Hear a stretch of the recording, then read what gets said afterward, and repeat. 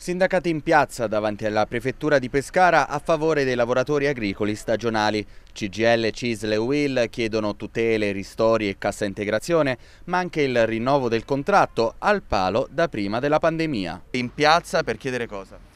Per chiedere i rinnovi contrattuali provinciali che sono da anni fermi, addirittura non abbiamo neanche iniziato la contrattazione. Per quanto riguarda la provincia di Pescara siamo a 6 anni di arretrati e per quanto riguarda quella di Termo siamo arrivati a 10, ma anche le altre province stanno a 2 o 4 anni senza rinnovo.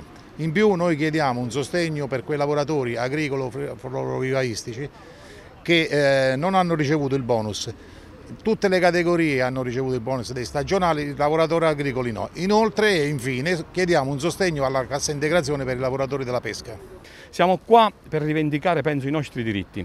La nostra cartina al tornasole degli OTD, quindi de, de, degli operai a tempo determinato, sono le giornate. Proprio in questi giorni l'Inps ha pubblicato gli elenchi anagrafici e se andiamo a controllare, statisticamente ci sono il 25%, quasi il 26%, 25,6% preciso, di giornate in meno fatte.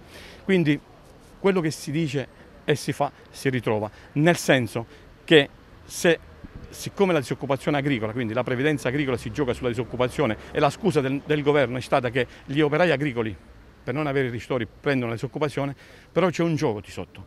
Le, la disoccupazione va in base alle giornate.